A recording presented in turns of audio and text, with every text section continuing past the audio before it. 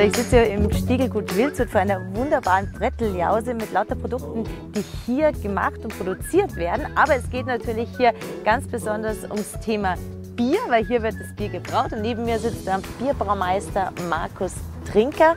Markus, ist ist ja so, dass so wir als Ernährungsberater haben ganz lange gesagt, ja, weniger Bier, weil so viel Kohlenhydrate. Aber ich habe jetzt mehr und mehr das Gefühl, dass Bier einen schon einen guten Platz in der, in der gesunden, im gesunden Lifestyle hat, weil es ja eigentlich doch auch ein sehr ehrliches und echtes Produkt ist, oder? Ja, Bier ist tatsächlich ein sehr, sehr ehrliches Produkt. Ähm, Bier ist eines der ältesten Kulturgetränke, das wir kennen. Ähm, wenn man zurückblickt zu 5000 vor Christus, ähm, wo Bierbrauen begonnen hat. Äh, das hat sich dann weiterentwickelt. Ganz, äh, ganz ein wichtiger äh, Zeitpunkt war dann das Reinheitsgebot 1516 und da steckt es schon drinnen, die Reinheit. Und das ist auch so geblieben. Bier besteht hauptsächlich aus Wasser, ähm, dann aus Malz, je nachdem Gerstenmalz oder Weizenmalz, dunkle, helle Malze und dann natürlich der Hopfen da drinnen für die, Bitter, äh, für die bittere und für das Aroma auch. Und dann kommt die, die Hefe dazu für die Vergärung und das war es dann eigentlich schon. Und das ist aber dann schon eine breite Spielwiese für den Braumeister und so entstehen wunderbare Biere. Und eben auch eine große Sortenvielfalt. Und ihr habt ja ganz viele verschiedene Biere. Was haben wir jetzt, was haben wir jetzt da für eins zum Beispiel? Ja, also das ist unsere Sommerliebe. Das ist, Dürfen wir schon mal trinken? Das trinken wir mal. Prost. Ja. Ja?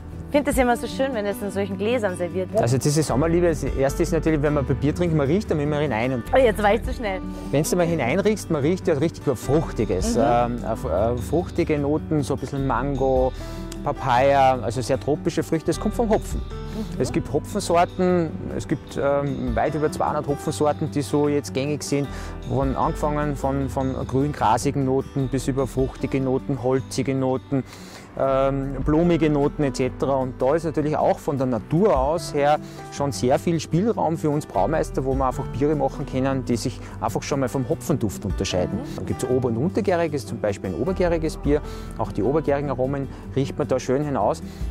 Und das ist halt wirklich ein Bier für den Sommer. Durstlöschend, ähm, äh, leicht hopfig, spritzig, elegant, schlank. Und so richten wir uns auch dann mit den Bieren heraus, gerade so wie die Jahreszeit, ja, vielleicht im Winter kann es ruhig was Stärkeres sein, im Sommer was leichtes, spritziges. Und dann, das ist halt, das reiht sich ein äh, neben unseren ganzjährigen Wildzutter Bieren, die wir immer dann haben, also die Gmadewiesen, das Sortenspiel und die Männerschokolade. Und was haben jetzt diese ganzen unterschiedlichen Getreidesorten da für einen Einfluss drauf? Ihr äh, baut ja auch die ganzen, ich sag mal, ganz viele so Urgetreidesorten ja. hier an. Ja. Und die werden ja da auch, genau. Äh, haben ja da auch eine ja, also ich finde natürlich, Malz ist natürlich mengemäßig neben, nach dem Wasser gleich das nächste, was man was braucht wird.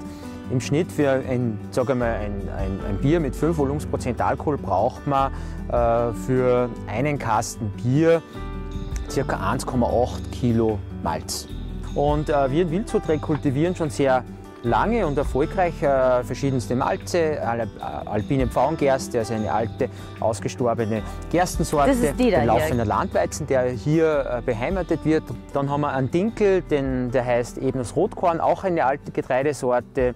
Und, und da dieses Schokolade, ist das das, wo da genau. dieses Schokobier entsteht daraus? Wir nehmen den laufenden Landweizen, vermelzen den in unsere eigene Melzerei und äh, zu einem späteren Zeitpunkt wird dann das getoastet bei ca. 180, 190 Grad und wenn du da reinriechst, dann riechst du wirklich schön diese Schokoladen-Mokkanoten da drinnen und mit solchen Malze macht man auch dunkle Biere. Du, und jetzt habe ich ja bei euch auch hier bei den Schweindeln füttern dürfen ja. und die kriegen ja diesen Treber.